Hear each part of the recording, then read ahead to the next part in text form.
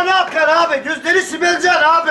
Ay maşallah canlandı abi balıklar görüyor musun? Ay yavrum. Kırmızı olsun 1 lira fazla olsun abi. Bülent Kaptan Sezonun sinemada. balığı abi sezonu. İti kanlı ye balığı canlı ye abi. Taze yiyen bebeler çabuk emekler abi. Hayvanlıklar var var var var var var. Bedavadır bedava bedava. Karadeniz patladı de. Mezgit balı 5 lira. 5 milyon mezgit. Gari, garibanlara 3 milyon. Gel daha söyle. Ha buraya bak ha buraya. Ulan balığa bak şey. Gördün mü? Abi abi böyle.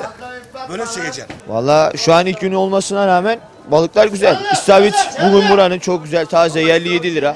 Palamutlar zaten zamanla bollaşacak. Bugün birinci günü. Dün de zaten hafiften hava esti. Çinekop çıktı. Kalkanlar çok güzel. Palamut var. Kefal balıkları biraz daha bol. Palamutlar şurada az bir şey irileri çıktı. İlerleyen zamanlarda daha bol olmasını bekliyoruz.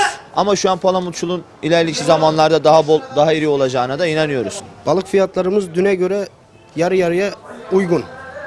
Ha, Daha da uygun olurdu ama dünkü elverişsiz hava şartlarından teknelerimizin çoğu denize çıkamadı. Bu yüzden de biraz daha fiyatlar yüksek oldu.